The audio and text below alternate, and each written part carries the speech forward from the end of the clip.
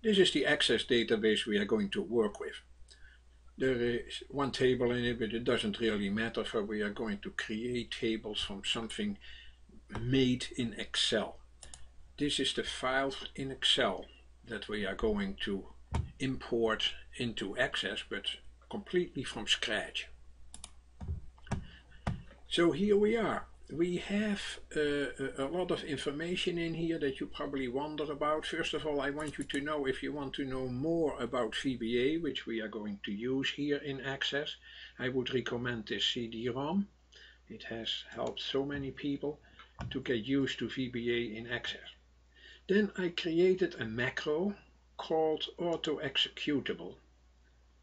And that one says message box. To create a new access table from an Excel spreadsheet, use Control T as a shortcut. So how do we implement that shortcut? In, in a macro called AutoKeys, you have to call them both with these names.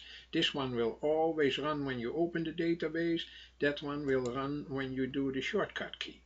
So we are going to see what is in there, we created a sub macro. How do you do that? You go to the design screen and make sure that you have your action catalog open and add a sub macro. The sub macro has a name that is the shortcut. Control, which is the caret up, and the T, and then it runs a code. That's the action we implemented. And the function name is run sub, that is a subroutine or a function actually that we are going to implement very soon. Because it has to be a function, you have to open and close parentheses. So that does the action when you do Control T. When you do Control T, it runs a function in a module. This is the module in that database. I am using the function run sub so it is run from a macro auto keys with control T and it does this sub import a table. But this one has to be a function. This is a regular sub. We declare a bunch of variables. The most important one is the DAO fields. You have to make sure that tools references has activated the Microsoft Active Object Database. Data Access Object. That is the DAO.dll if you have to browse for it. Or ACE DAO.dll.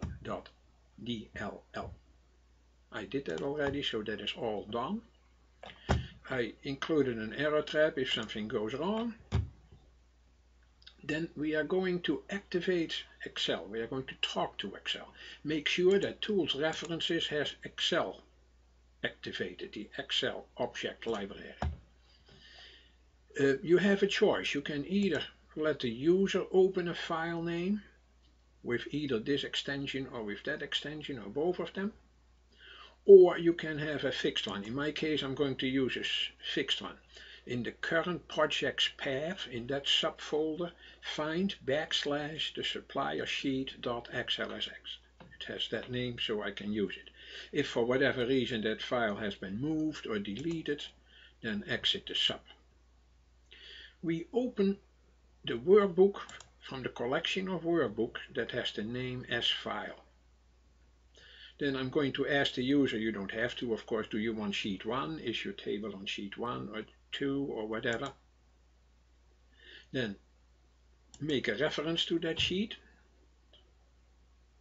and find out from that OWS, that sheet, starting in the first cell, what the current region is. That is the entire section up to the first empty column and the first empty row. Then it's going to ask me how do you want to name your table in Access through an input box.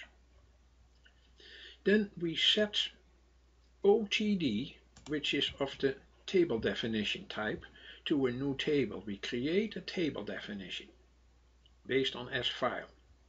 We create a field, an ID field, which is of the long type, That can be an automatic number. In my case, I'm going to make it an auto number that can go into 1.2 billion. O field, I'm going to make it an automatic increase field. Creates an automatic number field. Then I append that field to the collection of fields of the new table definition. We go with a loop through all the columns in Excel. Excel starts numbering at 1 up to the last one.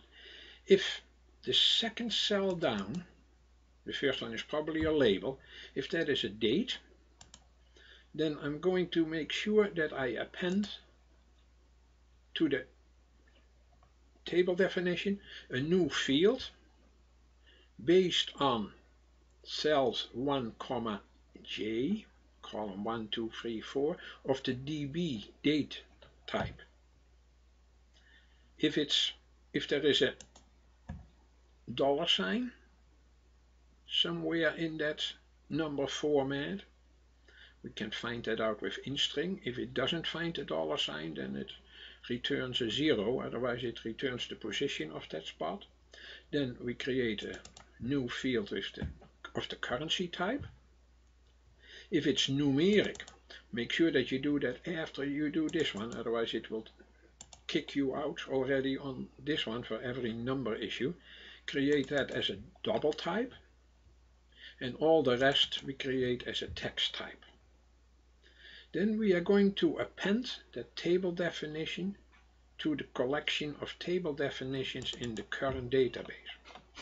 We store all records in this new table. So we open that new record set as file. We make it an open Dynaset type. We loop first through all the records, starting at row 2, not the header or the label. And we loop through all the fields of the record set, but be aware that those record sets have an auto number, which is the zeroest field. So we run for all the records and starting at row 2 up to the last row in the current region, we add a new record to the record set. You don't have to worry about field of the index number 0 that gets automatically numbered but all the other ones have to be filled. So we go through all the columns in Excel. And every field should be whatever is in cells i, comma, j. Don't forget to update ORS, otherwise it will not add that field. Next I, and it creates a new record, a new record, a new record. Then we open the new table to notice that the records have been added. That is a very simple do command open table with the S file type. Then we quit Excel. Don't forget that, otherwise that, that keeps hovering in the background or you can't see it. It's still there. So we close the workbook, we quit Excel, and we exit the sub. If there was a trouble somewhere here on error, go to the error trap we said at the beginning, then give a message box what the error was, and don't forget to close the workbook and to quit Excel, even if there was an error. So all of this should work fine now. Let's try it. Control T was the shortcut.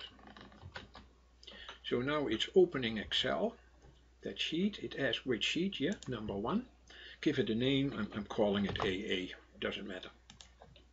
And then it opens that new, this was completely created from scratch. Notice that this is an auto number field, and those are the three text fields, four text fields.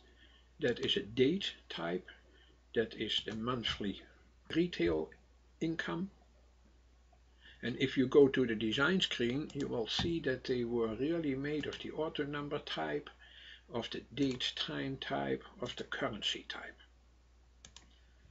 So I'm closing. Why don't you see that table? Because you have to refresh this screen. With. There is much more to report. in Access. And there are many other issues that you may not be familiar with. Access is not an easy program. So I developed a CD-ROM that discusses all these issues and it has helped thousands of people to get more familiar with Access. Here is the section on reporting tools, uh, but there is much more in Access that you need to know in order to let your databases work well. You can find this CD-ROM at genesispc.com.